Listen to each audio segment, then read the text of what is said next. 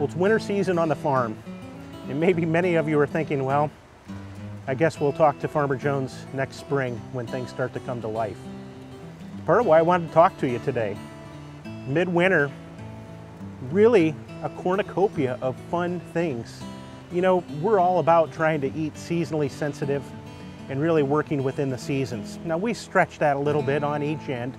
Of course, the old saying of early bird gets the worm. We're trying to have the tomatoes a little early and have them a little late. One of the things that's really exciting to us is using a root cellar where we're going down into the earth about five feet deep. Now what's cool about that is that your temperature stays the same year round and you're reducing your carbon footprint because you're not using any refrigeration. This is the way they did it for hundreds of years. You can see the champagne beets, the red beets, the gold, the candy striped beets, the white, they all were harvested this fall and they've been in root storage.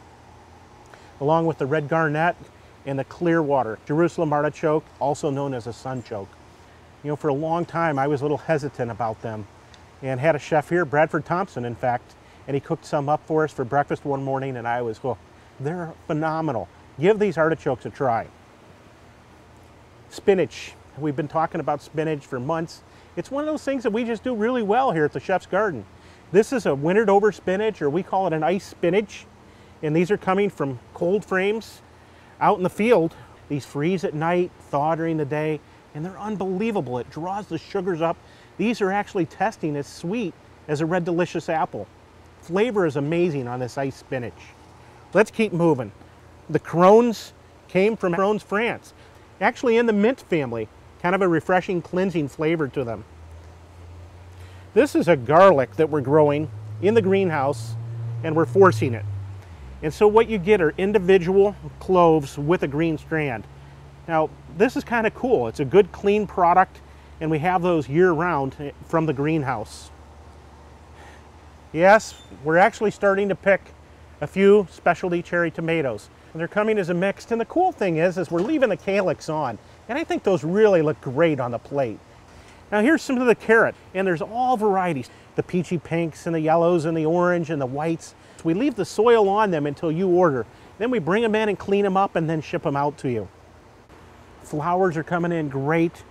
There's the borage blossoms. Boy, this is really a cool one. The rainbow lucky sorrel. And of course you can envision the flavor profile with sorrel in it. It is just so beautiful. The stems on them are amazing. Give this lucky sorrel a try.